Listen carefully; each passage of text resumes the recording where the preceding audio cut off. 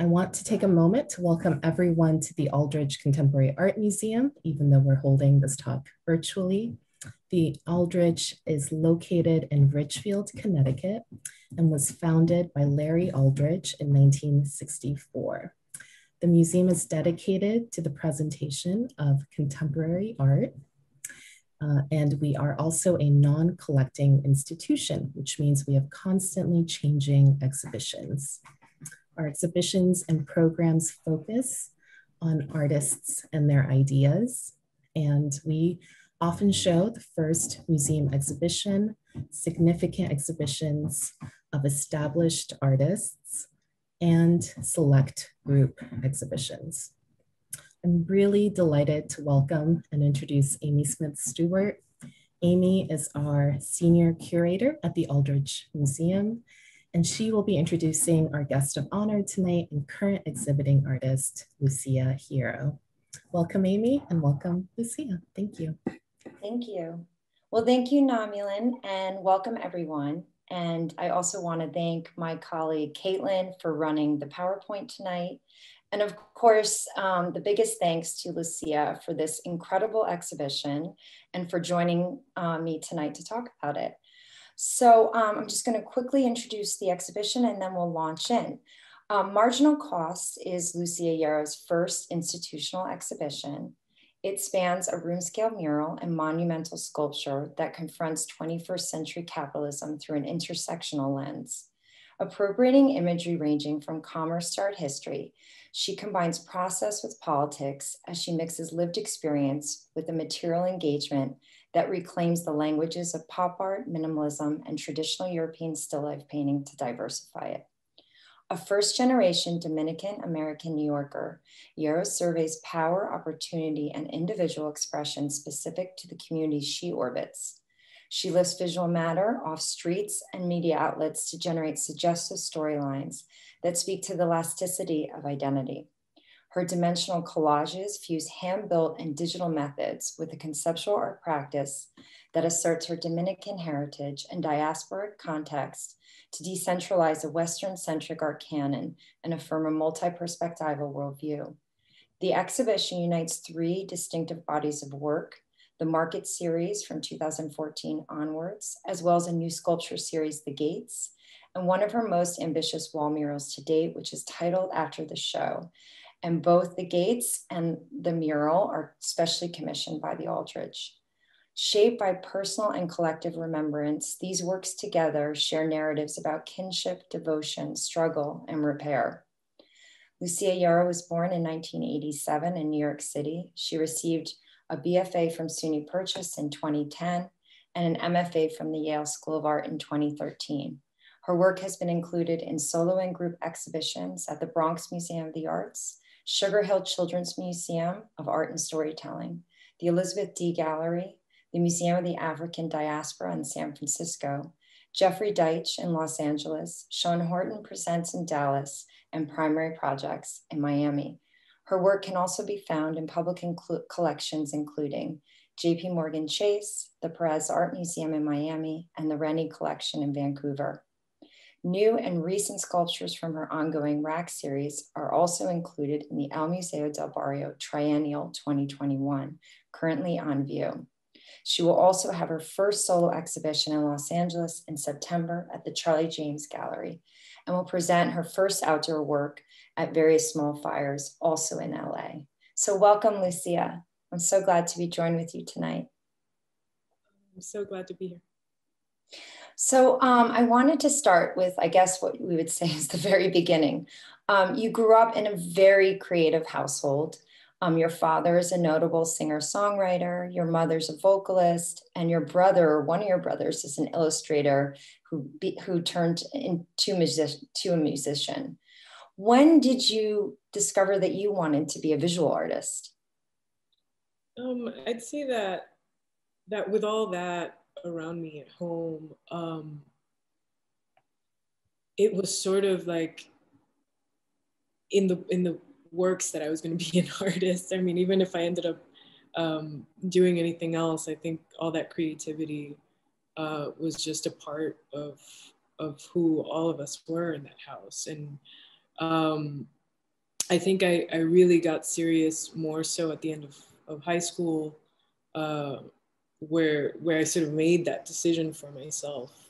And I think it was mostly a, a curiosity um, after visiting uh, the studio of, of Miguel Luciano, um, who's a really great Puerto Rican artist, uh, with the Cooper Union Saturday program. Um, it was a it was a after school sort of style program that was held on Saturdays um, to get us prepared for for what college art school would be like. And when I saw his studio, I think it, it was this big light bulb moment where I was like, maybe I can do this, and how can I sort of shadow this person and other artists like this person to to see if this is like a viable thing for me to do. And I was always making things and I was always really creative, but I think um, seeing that was really the the turning point. And then, um, you know, I think I mentioned this in the introduction, but I know that a lot of your work is informed by your own communities, the communities that you grew up around, the communities that you work in now. And, um, you know, Washington Heights, where you grew up, is, is home to one of the largest Dominican diasporas in the country. And then you also spent three of your teenage years in the Dominican Republic. And I just, um, and maybe Caitlin, you can show the first slide. Um, I, I wanted to talk a little bit about how those experiences these kind of intersecting diasporas um, kind of flowing um, have informed the content um, in your work as as you developed from you know a, a student at Yale to now yeah I think you know the the the work started in in undergrad in a way or at least the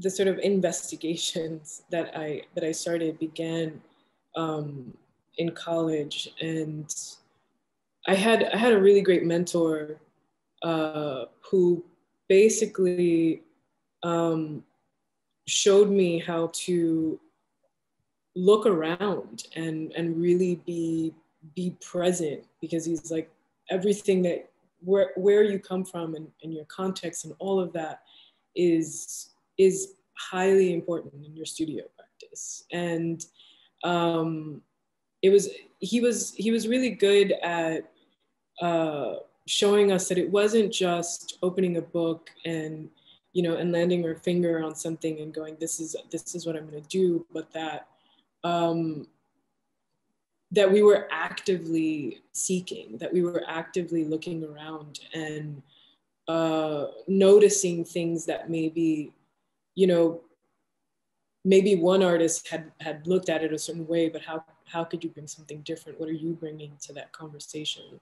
And I think that that that I carried that with me when I when I got to Yale, and um, it's a, as you as you mentioned, it's such a it's such an amazing place, Washington Heights, because uh, it really does once you once you sort of travel to the Dominican Republic and, and you come back, it really does all sort of make sense. You start to realize that in a, in a city that can feel so divided at times from one block to the next, um, it, because I, I, always said there, there really were two Washington Heights, and I think still to this day there are, um, where you have sort of these gated communities and then you have uh, these these very large sprawling Dominican communities.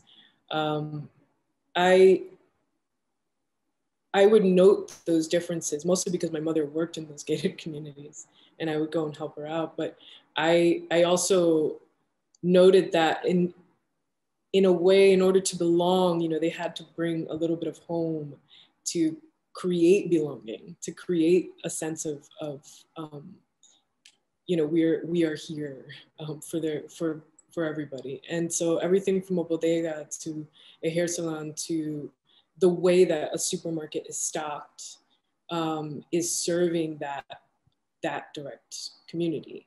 And and going, okay, so maybe you don't feel like you belong in certain parts of the city, but you certainly belong here. And and so I I started to to pick up on that um, with some of my early paintings in, in undergrad and even in some some early performance uh, work, which which I think started to push me more towards sculpture. But um, when I got to Yale, being away from being away from home, um, I started to know also the little pockets of Dominican communities in New Haven and things like that, and and the similarities that they had to to Washington Heights, or maybe the the subtle differences and things like that. And um, yeah, and, and I got I got really curious about that aspect. Yeah, and I remember you telling me um, that a lot of your work also, or especially the the Mercado body of work, which we're looking at right now, was also informed by a memory of your mother and your grandmother kind of bringing consumer items or i guess souvenirs as well that were specific to new york or specific to the to dr and this way of transporting them back and forth but you know when they traveled. Yeah i i i always say that those were the first um sort of entrepreneurial things that i that i witnessed was just seeing um all right, let's just fill up this one bag with all of these things, um, you know, cheap finds and like products and and things that you you might find in the Dominican Republic maybe a little bit more expensive than um, than here, uh, and and they would bring they would bring this one extra bag and sometimes give away things for free. Other times um, they'd be selling things or whatever that is in, in the DR. And, um, and then, you know, you'd get all these requests from people always as you were traveling and actually coming back to, you know, people here would, would be nostalgic for something and, and they would ask, oh, can you bring a little, you know, can you bring a little sweet? Can you bring a little something? And, um, and bringing that back. And so that trade of, of things, the, the initial, I remember the initial idea that I, that I had was to sort of have them in in these sort of suitcase style things but mm. the tote bag came from from thinking of of the tote bag as a souvenir as um, a lot of new yorkers move around the city i would notice them um, carrying these tote bags that that really were an extension of their personality or something that you could tell where they shopped or where they visited or from these from these tote bags and and worn as a sort of um, as a signifier. And you know so i could i could tell a fellow artist when when they were wearing you know a, a moma bag or like a you know, guggenheim bag or something or if they were a museum employee you can tell. And um, and i found those things really interesting and especially uh, I used to I used to love these like kind of niche things like the like the drama bookstore or something. You could tell that this person is either a playwright or an actor or you know you don't go there unless you're you're one of those things and um, and so I I took that idea and, and was thinking about how we how what the relationship was to to the arts in the Dominican Republic or to the culture itself. Um, it really is so dependent on on tourism and uh, that that a lot of the art is not really um, looked on looked upon as as as we would any other art anywhere else. I think that's a that's a problem with the Caribbean in, in general, um, or the way that people view the Caribbean.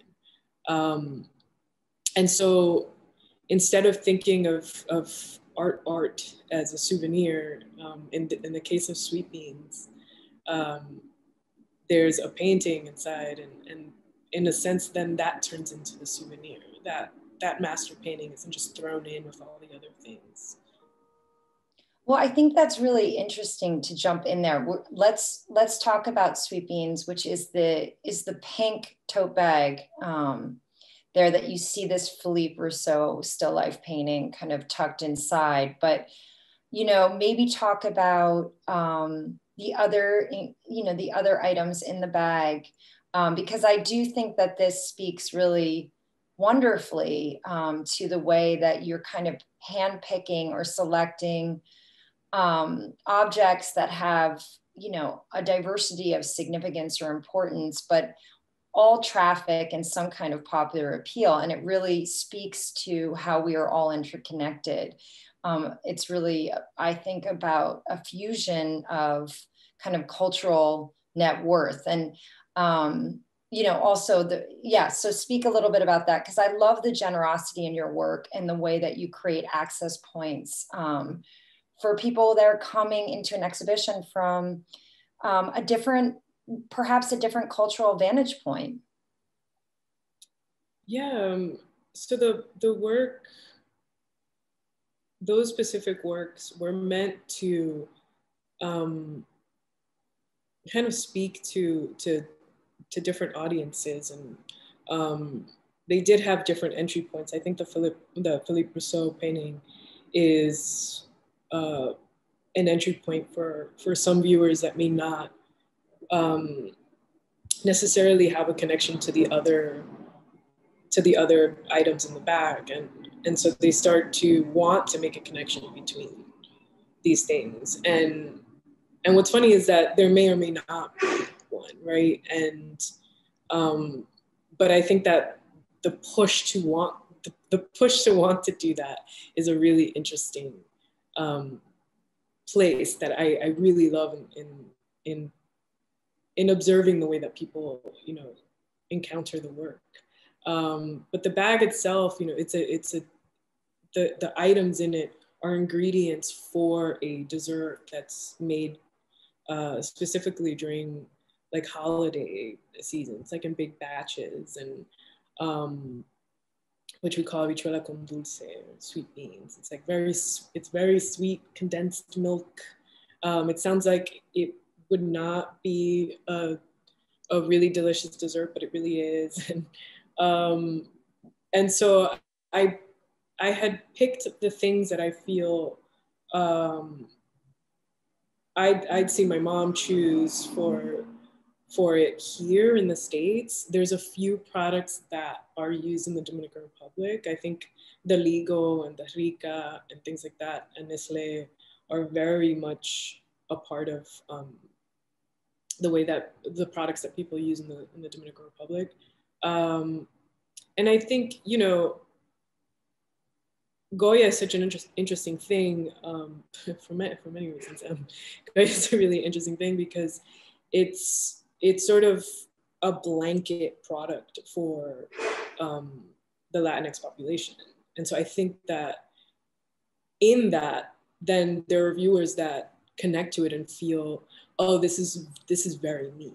I mean, I can name 50 artists from different parts of um, Latin America and the Caribbean that are that are using these types of like logoed works um, in their own work, and and I find that really interesting because then it's it it sort of speaks to the way that we're marketed to, and um, and how much of our how much of our identities are are really a construct of, of marketing. I know. And I also think, I mean, maybe when we go on and look at some of the other bags, I think it also speaks to that kind of conflict that we all have. Like, not sometimes what we what we purchase or what we buy is not necessarily aligned with our political beliefs or what we want to believe in. So I think also um, I love the way that these works, you know, speak to that actually, to those con- those kind of those conflicts, um, which sometimes are very specific to a generation or very specific to the neighborhood that we live in or what, you know, what is what is available to us, um, class and so forth. Um, but maybe that's a good segue to talk a little bit about the title of the exhibition, Marginal Costs because I know you said on many occasions that your work is is fundamentally about economies. Um, and I thought I thought maybe you could uh, talk about why you chose that title and um, its meaning, because it's also the title of this very ambitious wall mural that we'll see soon in the other gallery. Yeah. Um, so I think that for a while I was making I was making work that was that was about my community and my people from a very personal um, and nostalgic sort of place when I when I was in school. And I think that in observing the way that people were consuming that work uh, and consuming work by by other peers of color, um, I I was a little bit concerned, and so I I I came to a realization quickly that I couldn't that I just didn't want to make that type of work that I I I couldn't living in the world that we live in in in in this stage in this late stage capitalist world that we live in that that wasn't the work that I felt comfortable making. And um, and so I moved I moved towards how do I talk about um, the sort of political underlying thing in the work um, in a way that's both kind of sardonic but is also you know like I, I didn't want it all to just be this earnest like and here's my culture because that felt very much like feeding into the the sort of voyeurism that that that tourism um, brings with it. And um, and so and so I thought no I have to I have to sort of implicate myself as well right as as a consumer and I have to I have to like push push those buttons of um, I'm not I'm not making I'm not prying into like what each of these companies does in, in in the Dominican Republic, Puerto Rico, or, or any of these places, right? Like I'm not quite doing that, but it will make you think about those things quite a bit because these brands um, are it, it's so it's so heavy like that you see those brands and you know exactly like that they're that they're these like mega beasts of companies right? And and so i thought oh the work can sort of do that on its own for itself. And um and so in thinking about that i was thinking about the fact that when we talk about the economy we talk about this like larger entity that um a lot of a lot of folks that are um, quote unquote in the margins feel that they're not a part of that conversation that that's just a that's this big thing and our thing is this like day-to-day hustle that it's a sort of hand over fist like we do these things over here and there's this other big thing that we call the economy when in fact these these sort of smaller um, transactions that happen in these like smaller neighborhoods and pockets and whatever are the things that keep this like big beast afloat. And um, and once I, I sort of had that, not epiphanies, I, I knew it, but it was just sort of like, okay, I need to, I need to sort of think about this. Um, I, I called up a friend of mine, uh, Tahir Karmali, who's a great artist, but started off in, um, in finance and tech. And and I called him and we discussed this and he's like, oh, you're talking about economies of scale. And, and, and so we started thinking about titles and also breaking down not just their, their meaning in economic terms, because I think that uh, with these sort of conversations about, about products and companies and businesses and whatever, the human aspect is left out purposefully, right? Like as if these things magically appear there, as if there, there aren't inhumane practices, as if there aren't, um, you know, environmental and socio-political like ramifications to, to the ways in which we're producing.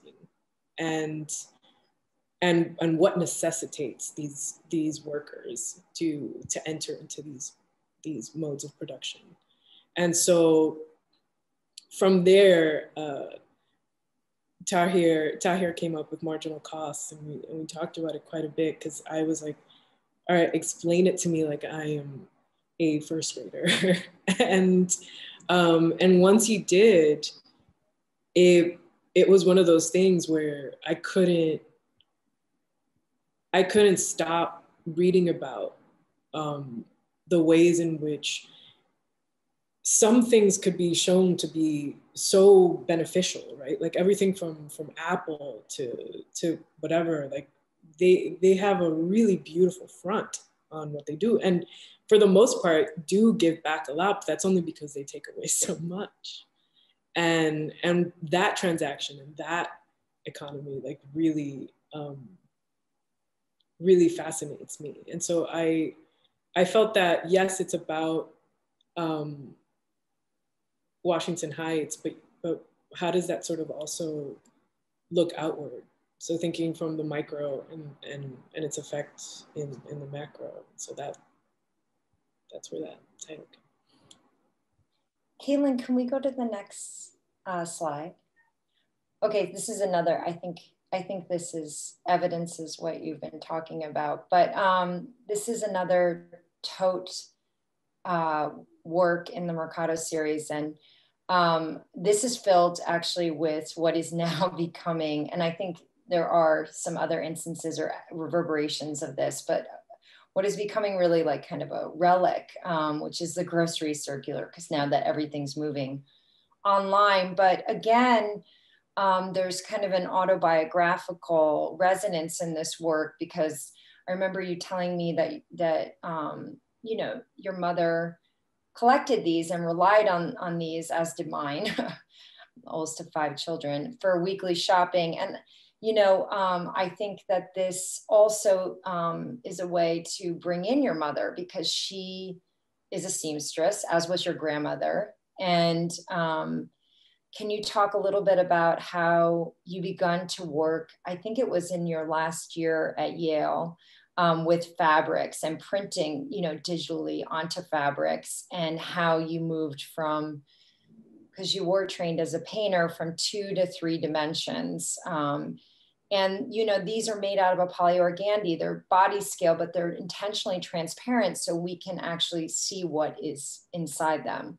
So um, I guess we should just tell the audience a little bit more about how you started working with fabrics and also how these works are made.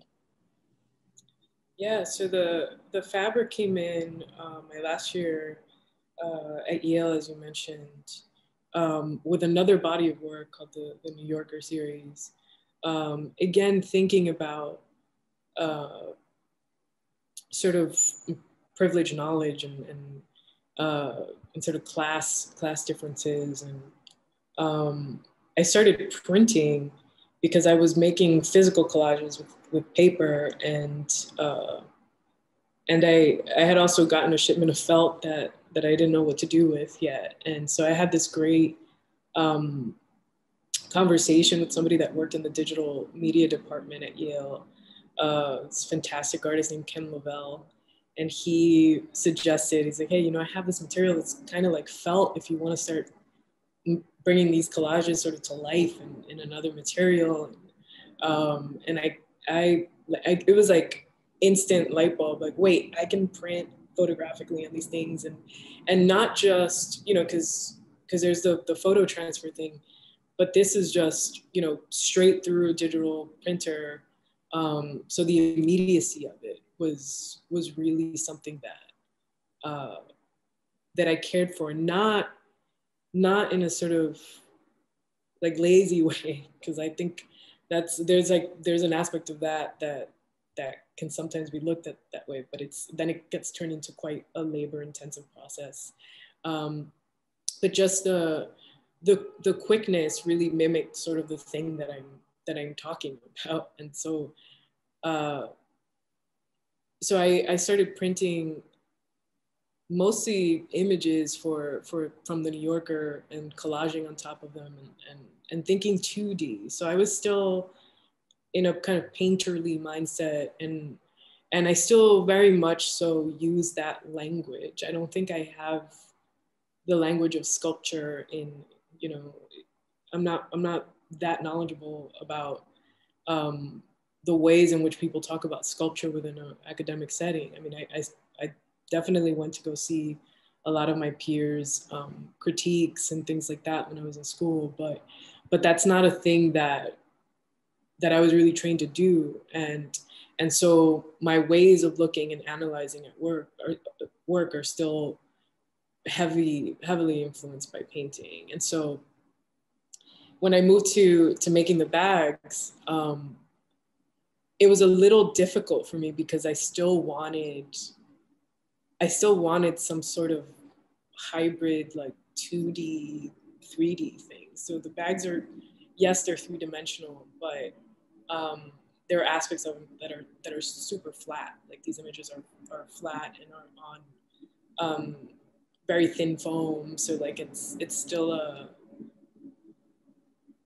it's still alluding to a sort of 2D space. Um, and the when I started sewing, I remember calling my mother and uh, and telling her that this is I was going to start doing this now, and she was she was really excited about it because she had always wanted to teach me how to sew, but I I never I never wanted to learn mostly because I had seen that that was a that that was a thing that that my family did sort of out of struggle and and they were trying you know this was this other I didn't realize I think till till later when when one of my aunts and my mother herself told me that my grandmother um, wanted to be a, a fashion designer and she never got to be um, and so it took on this other meaning, sort of like, oh, well, I get to do this really creative thing with it. I'm not laboring in a factory somewhere. Like I get to, I get to do what I want with this and express myself with this. And, um, and so she came into the studio.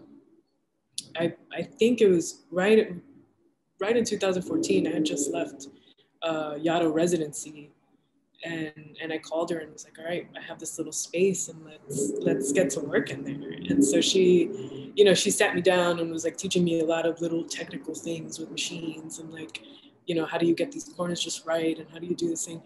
And then I had to break her out of a lot of that too, because I was like, well, how can you make it more expressive? How does it not look perfect? How does it look like this is a line, like a pencil line, as opposed to, you know, a, a perfectly sewn factory line? And um, and she started having a lot of fun with it. And I'd, I'd show her art books and showed her Oldenburg and was showing her all this stuff. And she, she got really excited about it. And, um, and so the, I remember when we first made the circulars bag, I had uh, a bunch of these circulars because I myself was using a lot of them. And, um, and it was sort of a no-brainer to sort of fill a bag with with these things, with the thing that you're going to go and purchase more things to put in. Um, yes, a, a, true circular. Yeah. A circular economy. um, Caitlin, you can go to the next slide. Okay, so um, this is exciting because you know you evolved from the totes, and of course the tote bag in New York City. If you ride the subway, which I know is a a huge source of inspiration also for you, Lucia. Um, you know, you see kind of, you know, advertisement for various, you know, magazines like the New Yorker, but also various like galleries. And so you really get, kind of get a hint at, uh, it kind of hints to class or at least to an individual experience. Um, but then you evolved into the single use plastic bag, which, you know, was recently banned in New York. Um, and these are really, um, I remember you telling me, are based on kind of photos you take of people within your neighborhoods. You walk a lot. I know you're really inspired by what you see in your neighborhoods and on your walks. And I know that a lot of these works, and as you can see, especially with the work um, Mandao Paramanda that they are portraits in a way um, of people you know. Um, and I was wondering if you could talk a little bit about that. Yeah, I so the the the picture before this was somebody coming into my building uh, who I know, and and so he had gone to the the sort of street markets, street vendors, which is why it's a Walmart bag, because um, they'll just have a bunch of single-use plastic bags and they'll recycle them and use them, you know, for for their for their selling of produce and stuff on the street. And so um, this is sort of one of many. I tend to not share that many because I always feel kind of I feel weird about that. I'm like, this is a, I invaded somebody's privacy while I was following them around at the supermarket, and um, there there was a time where I was like picking up receipts, where I would pick up people's like dropped mm-hmm. receipts, and I could see the things that they would buy, and, and they were so you know they told they told such a little story about like you know what's a reoccurring purchase like what's a um, that was another thing that i started doing was like oh what happens if i go back every monday or you know which is always like I, I used to call them you know my admin days now every day is my admin day but but my, my mondays were, were specifically that and so i go okay so i'm going to go in the morning and see who goes to shop Monday mornings. And then I would check out some Saturdays. Or, um, and you would see the same people and buying similar things and you, you bump into people and um, and sometimes I'd go in and I'd buy like one thing just to, just to buy one thing and not look like a complete creep in the supermarket and and I'd take these little snapshots of either people's carts or or what was on the, the little conveyor belt.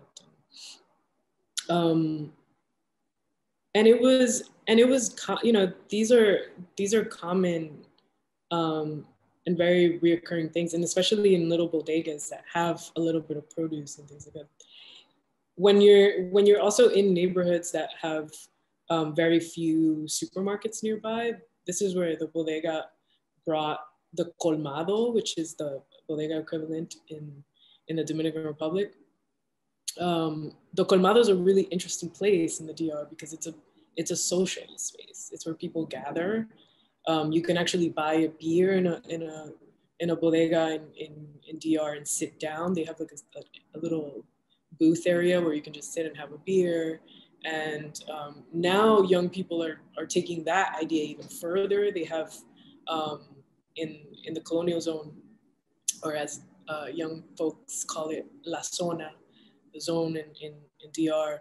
Um, they take those colmados and, and turn them into poetry reading spaces. So, or, you know, they'll, they'll have somebody spinning records like some days and have parties inside of them because you can just buy stuff there and, and hang out. So there's, there's that social aspect um, that then is sort of brought to New York where you do have the music playing and you have people come in that that will talk sports or politics or whatever and buy their scratch offs and hang out and and there's a there's a there's a sense of um, a community and then you also have that other little thing that if you really if you know the the bodega owner and he knows that, that you live nearby and that you're a regular um, that you start little tabs with with with these folks. And my dad certainly had a tab um, as a musician.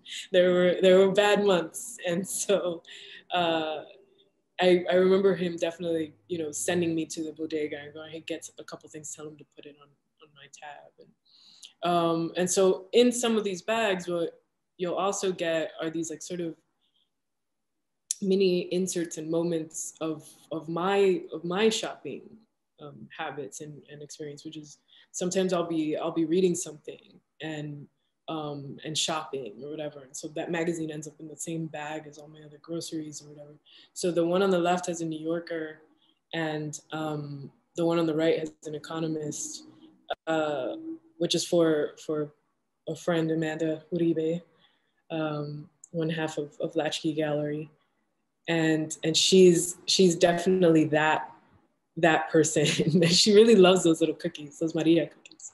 Um, so I, I, I wanted to incorporate like a little a little of her and a little of myself as well in in the bags and um, yeah and I think actually there's there's some and then there's products that I know are are are points of sort of tension um, which the the Maggi products are are a thing that I know that there's a lot of like there's even protests in, in parts of the Caribbean and, and, and the Dominican Republic because they're really high in salt content. People are suffering from diabetes and all sorts of stuff because of these products. And so they're, they're um, in direct, you know, conflict with companies that want to take over whole bodegas with their advertisements outside. Um, so there's a lot of brand loyalty that you'll see in communities, which is why, you know, the, the head of a corporation could be a complete bigot and they'll still buy that product because it's a, it's their knowledge is that's good. That's what's good. And that's what's familiar. Yeah. Um, and maybe that's what's available. But I also, I remember you telling me that um, someone had called these shrines. And so I think that's an interesting, because they do feel like tributes. And I think it's an, an interesting way to enter Caitlin, the next, thank you. Um, so, you know, now we're entering um, a small space that um, is part of a larger, the larger mural, which is in the bigger gallery that is adjacent to this space. Um, but this is um, an image of a sidewalk shrine. And it also signal, signals um, that many of the works that were made now that we're moving through the exhibition were made actually during the pandemic.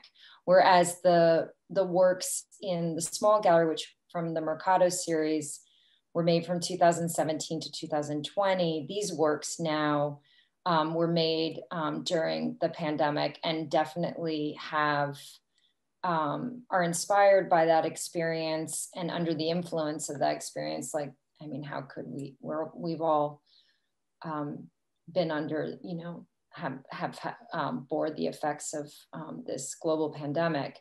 So this is, um, I love the way that you make your murals. Um, so what we're looking at, and Lucia, you can just jump in and cut me off, but um, is we, the walls are painted a specific palette, you know, according to a specific palette that Lucia has given us in advance. And then the elements that you see there are all vinyl. Um, some of them are cut out and are individually put assembled together. Um, and I thought maybe we could talk about where those images came from, because I think most of them you told me were images that you were looking specifically to looking for on the internet, but actually are, are very much inspired by the sidewalk shrines that you were witnessing um, in your neighborhoods. Um, and this space is very small, very intimate. And so um, I feel like also it's become sort of um, like a grotto. Yeah, so um, the the shrines that you normally see on the street are are usually dedicated to to a specific person and um, someone that the block um, really knew and and and saw often. A lot of the times raised on that block, so like neighbors knew this kid since they were small. A lot of the times, um, you know, unfortunately, a lot of these these deaths are, are gang affiliated or, or or things like that. But other times they're not. Sometimes you know you'll have someone that that maybe um, was you know was enlisted overseas or or whatever whatever the, the case is surrounding the death, um, they'll, they'll have these little shrines. And so people will bring um, something that they really loved. So like whether that's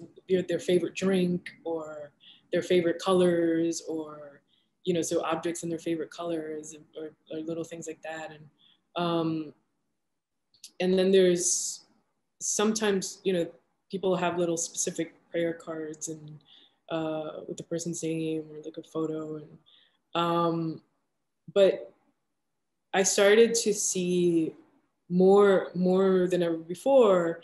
It, these weren't just shrines for these for these young men anymore. It was sort of like you'd see um, some of the older residents who had passed away uh, um, from COVID during this time, and and it was such a crazy moment especially you know because I I remember doing some heavy grocery shopping and then just staying home for a really long time and going out maybe very early in the morning just for like to breathe some fresh air and and really took this like quarantine um, seriously and and then there was a point where I was coming out and almost every other block, you know, people were leaving flowers in front of a building. And and then I traveled to to my studio and the South Bronx was hit really hard. And um, mostly, you know, this is where my studio is, is, is the poorest congressional district in the country. And so with that, you already have a bunch of folks that are um, that have pre-existing conditions that got worsened by COVID, and because um, we're right next to the Bruckner, which was built to cut right across um, this area, and so there's a lot of air pollution, high asthma rates. Um, so you know, I, I, I understood that though this was affecting everyone, this wasn't affecting everyone equally, um, or at least communities uh, equally. And, um, and I wanted to pay tribute in, in some shape or form. And I wanted to do it in, in a respectful way that wasn't, um, that wasn't sort of like just a, a passing thought and exploitative. And, I think, um, to, to have include to have included this this segment of the mural with the larger mural would have been um, not the right move because it gets lost in sort of all the other things that that you have a moment between these two uh, spaces to sort of take in oh wait this this looks very much like a kind of funeral. You know this, this is not this is not the same as um, as these other as these other spaces and so i i used st joseph because i had done a little research on the different things that this saint is, is used for.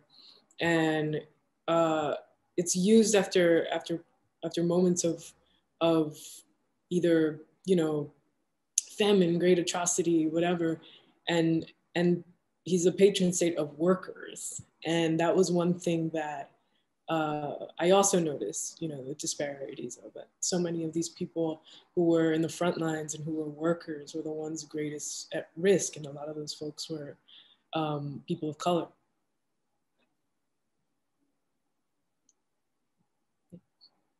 Okay, Caitlin, can we move on to the next gallery? Okay, so this is um, the what we call the South Gallery, and it's a very large gallery. And um, I remembered something you said, Lucia, during while we were installing, how it feels like you brought Washington Heights to Ridgefield, Connecticut. And it truly is um, a tribute to your own experience and your hy- hybridity. Um, and I was wondering if you could, again, I think, talk a little bit about um, how you chose the imagery that's within the mural itself um, and also just the process with your murals because um, this has been ongoing. I, I, I feel as though it's probably been two to three years that you've been working in this way with these room scaled murals that combine you know this colorful kind of fields or grounds of color and then the digitally printed vinyl um, so it is like a dimensional truly a dimensional collage that is you know mimicking or playing up the scale of of, of a billboard. Yeah um these you can go in if you want to to some other images of the mural if you want. We can go back. Yeah so these um these were the the photos for for these murals were all taken um, during my walks during during the pandemic. And and one of the things that i noticed was that anyone who was a street vendor um, was sort of striving in in in this time because i mean everything people felt a lot safer shopping outside than they did inside. So um, a lot of these a lot of these street vendors um, started making their own uh, hand sanitizer started you know they were they were really savvy around this time and i i just kept thinking about i, I was talking to one of them and I was like, man, we just we know how to hack the system. Like every time we we figure something out, um, a clothing store closes and and then they take everything out and they start selling it in the street and um, and I think even with uh, even with COVID, like there were so many bodegas that were that were being incredibly kind with a lot of the things that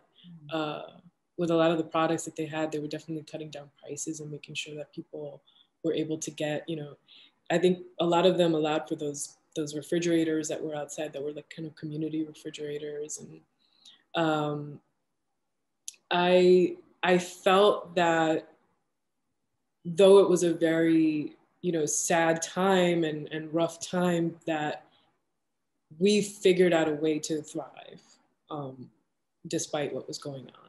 And so this was this was one of those things that I wanted to um, sort of pay tribute to was was that that neighborhood. And it's sort of like like the feel of of what walking through those blocks is as opposed to a complete um, copy and replica of it because they're, they're just a few elements but um, there's also things that i wanted to include that i know are soon to be relics right like these little gumball machine things and um, i'm pretty sure that as as people stop using change we won't be seeing them very much uh, and also I don't I don't I haven't seen kids running to them as much as they used to. Um, and then also the for lease signs, which I kept seeing were everywhere, and um, and what that meant in terms of uh, what was lost, but also uh, what was gained, because there were people that could then later, you know, put their put their stands outside of these closed down locations, especially when they were big, big businesses, big brand name businesses that closed um, in those neighborhoods. Uh, these these smaller, you know, there was one that I wanted to include that I didn't get to, but it was such a funny contrast, which was like this jewelry store that closed down and then someone selling like jewelry on the street right in front of it, like cheaper jewelry. And I just was like, this is great because this person's like awesome. Like I have a sign and everything above me. Um, and so, so I wanted to capture that, that, that feeling in the neighborhood. The color is the color field in itself is, is again, that's where my painter brain comes in, which is that sort of formalism and trying to, to play with what picks, what picks up what color from what when you, when you place it next to the other and, and how your eye moves through this feels very much um, the way that your eye would move looking at a block, a city block. Yeah, I remember you saying that. I really, I love that because then I started, because I lived in the city for 19 years, I started thinking about that and how kind of color, you know, a lot of the buildings, they absorb color, reflect the color. Um, because the light kind of is is just cast in, in the in between spaces or on the reflective spaces. Um, so, Caitlin, can we move to one of the upholstered pieces? Because as you can see in the mural, oh, this is a good one. Um, there are two sculptures, and, and one in particular, Casita, um, that is that is part, or at least leaning against, almost supported by the mural. And um, you know, one thing that's very noticeable in the exhibition is that the body is implied everywhere. Obviously, um, we become as visitors kind of complicit in the within the narrative, but you know, within your work, the figure is um, noticeably not there, noticeably absent. Um, but there is one piece I think um, that you know does leave a little bit of a ghostly trace of the that hints towards some sort of um, potential identity, and that is the upholstered work that's closer to the gates on the green, like green background that you can see there called Esencialmente Essential. I hope I didn't butcher the pronunciation, Lucia. but um, can you talk a little bit about maybe that work? Because I think it does show the process, which and how these upholster works are made and what, and I think you can see the image that um, of the mattress leaning against the the gate in the city but just a little bit i think um, about where what was the inspiration for this is another ongoing series in your practice yeah i i started to think of um, discarded mattresses as sort of windows into into the communities that that they that they were thrown out in, um, almost as if you can see through that that mattress. Um, what is it framing? And uh, so the, the, one the one on the right here is is right in front of my building in Brooklyn. Um, and I loved it because it was like both things. It was the gates, and then it's also the the mattress leaning on it. Um, I I really love that this very very personal item. I always say that there's a there's a huge difference of um, with communities that are that are very wealthy versus communities that are not, and it's that there's there's something about privacy that is a luxury, and um, when you're stacked on top of each other, when you're uh, when your when your garbage is visible, when you're there's sort of a, there's there's no hiding it, there's no pretty facade. Um, you don't you don't have a back entrance to your house, right? There's it, everything's there, everything's out in the open, and um, and I thought the mattress was the best example of that. This is like the most personal thing.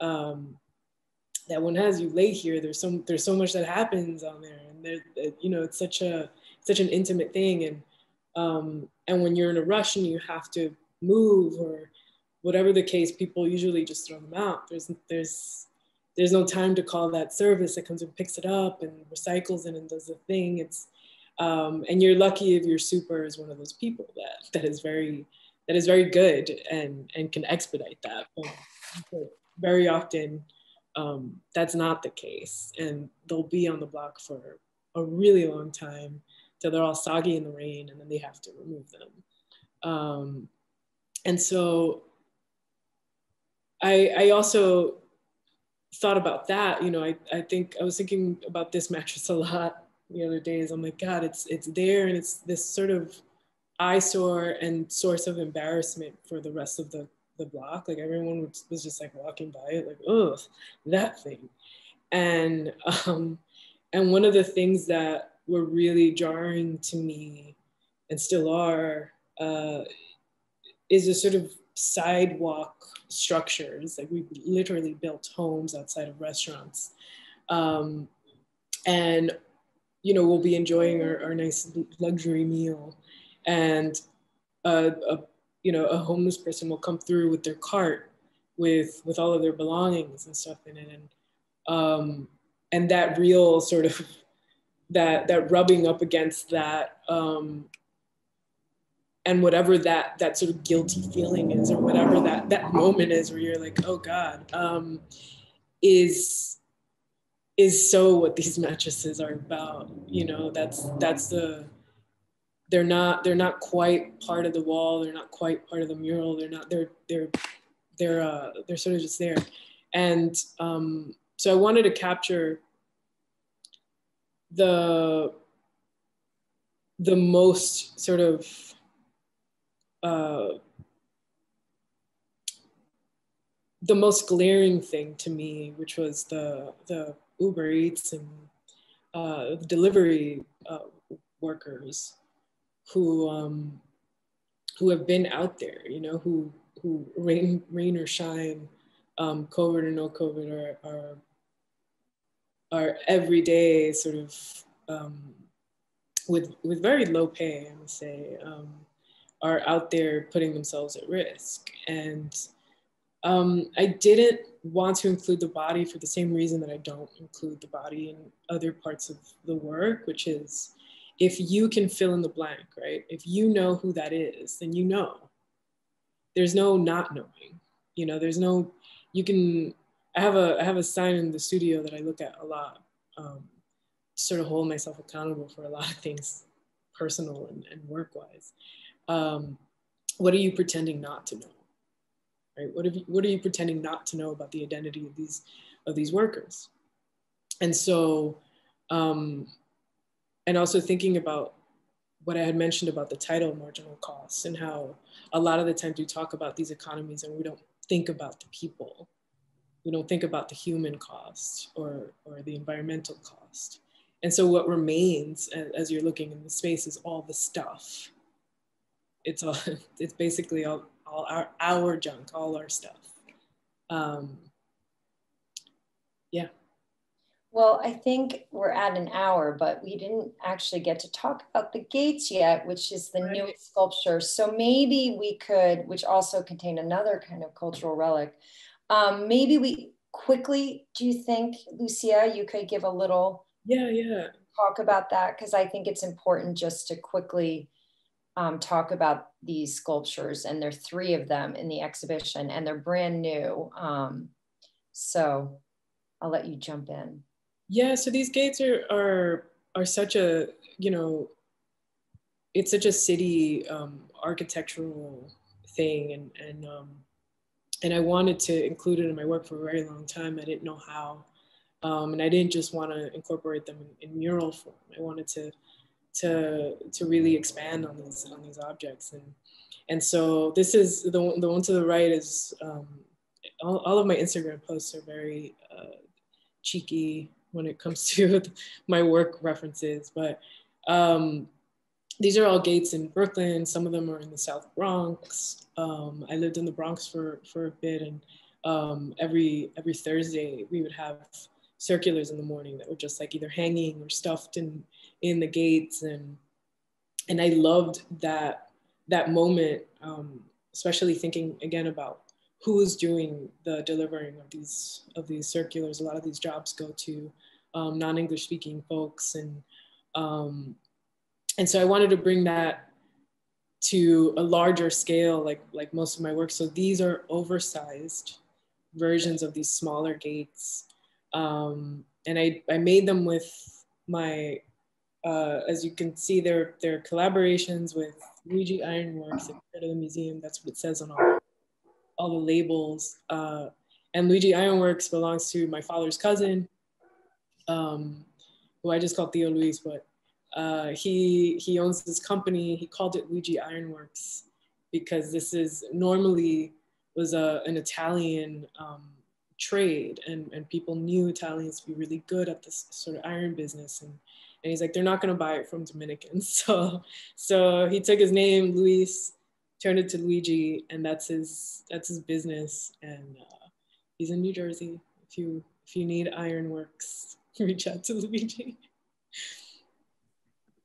Well, thank you so much, Lucia. I hope everyone enjoyed this conversation. Um, I certainly learned a lot, and um, and also I should note that Lucia is in her studio, so you can see some of you can see her sewing machine and some other materials um, she's surrounded by.